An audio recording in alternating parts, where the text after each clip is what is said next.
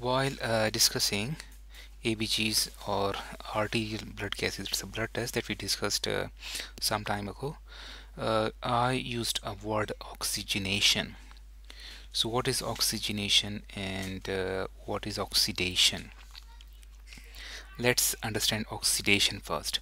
Oxidation is defined as a reaction between oxygen molecules and various substances that come in contact with, with them. It is commonly known as rusting. Oxygenation on the other hand is simply addition of oxygen to a medium usually liquid for example uh, blood for example water. Oxygen in this case does not react with the medium. It simply gets added to it. In case of oxidation oxygen reacts with the uh, uh, medium and uh, changes its uh, chemical composition. Versus in case of oxygenation it does not changes its uh, chemical composition. Uh, in case of oxygenation of blood oxygen binds with hemoglobin reversibly.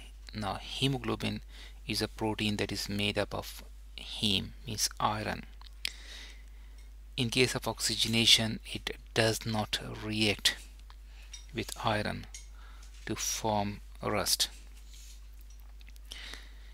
It is the process of oxygenation and not oxidation that adds oxygen to water and fishes and marine animals can use this oxygen. If it was oxidation the animals won't be able to use it.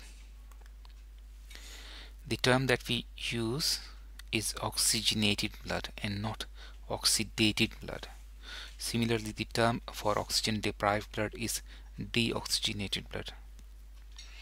I hope this explains uh, what is oxygenation and what is oxidation.